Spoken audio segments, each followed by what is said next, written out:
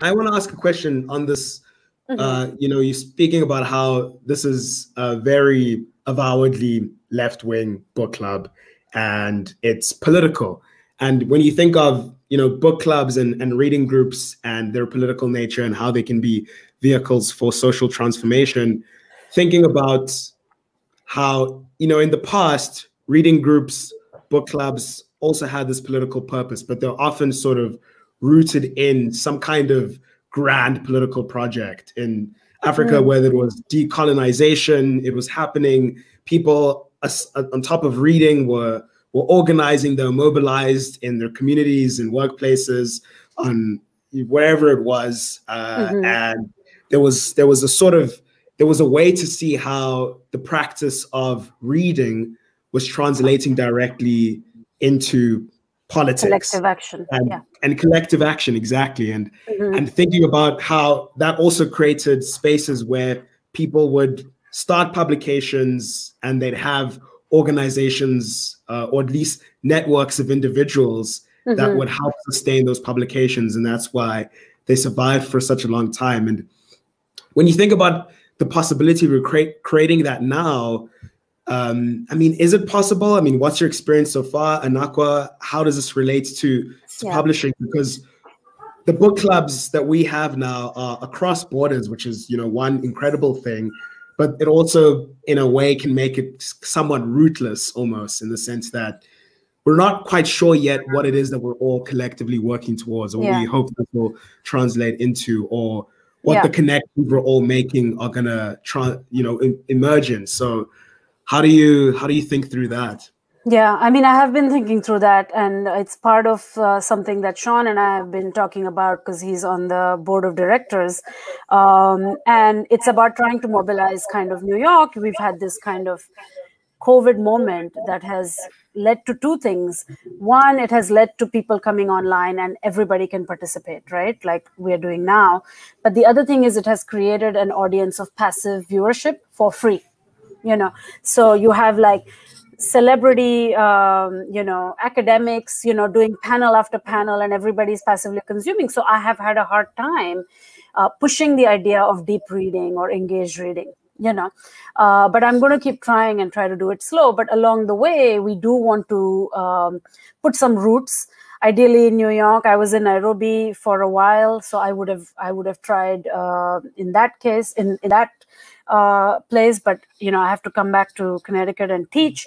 Uh, but in New York, we'll try to get in touch with bookstores and try to do some gatherings there.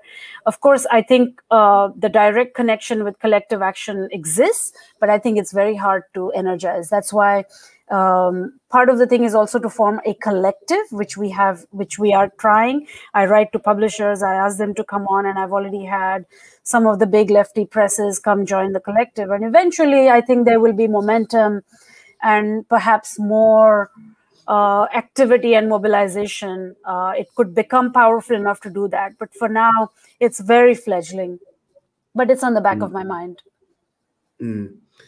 and i mean anakwa how do you think when when thinking of creating a culture of reading and an intellectual culture that is that is rooted when it comes to to publishing we were talking about all of these incredible new books and publications emerging but but who's reading them is is a question one could ask because at least it was easier in the i mean maybe i'm romanticizing the past too much but at least there was a very discernible audience at one point where you knew if you if you released a, an issue of transition in 1967, uh, you knew your comrades were going to read it. But at this point, when we're still somewhat disorganized uh, on the left, how, like who's reading all of the incredible stuff that's that's coming out? How do you encourage a readership in the context that we're in now, that is digital and uh, predisposed to, to passive viewership and consumption, like Bhakti said? Yeah, so I mean, I, am gonna default to Ghana, which is what I know best. Um, but uh, one of the really exciting projects that exist is there's a group called the Writers Project Ghana, um, and essentially they have a space on one of the local radio stations, and they invite readers, uh, sorry, writers, to come and sort of read their stuff. And it's, um, I, I, believe it's a weekly thing, and, and I, I found that to be very, very uh, cool. And they actually have worked with Cassava. Um, there was the Accra Noir um, anthology, which was um, recently one of what they were reading. And so I, I, feel like a lot of these new publishers are trying to work with um, different technologies. They're working, you wouldn't have had, well, I don't know if Heinemann, you know, with the African Writers series was reading stuff over the radio. Um, I don't know that. But um, I think people are trying to find different ways to work with other organizations or other spaces. I know that um, there's Akoo Books in Ghana as well, which is um, immediately putting things on audio, right? And and you think about a place like Ghana, I don't know how many people get a chance to sit down and read um, novels, but um, if it's on, if, if it's uh, available in this manner, it's very easy for people to engage with. I'm also seeing that for a lot of the publishers, actually, you know, having publishing essays, um, having some reviews, um, whether of their stuff or other things um, on on their websites, and kind of trying to create uh, uh, platforms for active engagement. So it's still it's not yeah. quite, you know, I'm going out into the store, you know, reading mm. outside under the tree and then marching afterwards. But I think that there's an effort to really take a, take advantage of things. And the lastly, and, and Sean is going to laugh a bit, but um, um, wow, now I'm blanking on the app. The app where people get together and talk. Uh, Clubhouse, I think. Clubhouse. Clubhouse. Clubhouse. Yeah. Clubhouse. One of the best one of the best clubhouse conversations uh, I, I, listened to was around uh, this book formation um, because there were you know it was like it was it's a book about Nigerian history and of course there were like a thousand listeners.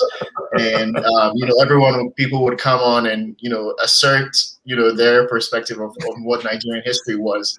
And um, Sean's laughter distracted me um, but but you know the, the, authors were taking time to sort of really engage people and why they might have a different mm. perspective or why you know they might not have learned X thing and Y thing and it it it, it one felt of, one really, of them is a very well-known uh, left-wing lawyer I think I mean uh, if I remember Femi the second yeah. author yeah I think he's a very well-known activist lawyer in Nigeria yeah yeah. But I just want to add one.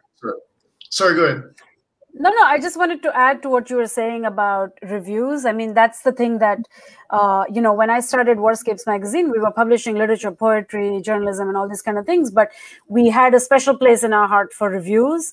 And, you know, because so many books get published and they just kind of drop off the radar because nobody will review them. Because the review circuit is like in my opinion particularly like american publishing it's a it's a sort of very uh, clicky clickish racket you know? You just kind of plug one another and you get you know one new york times author will publish another new york, will review another new york new times author.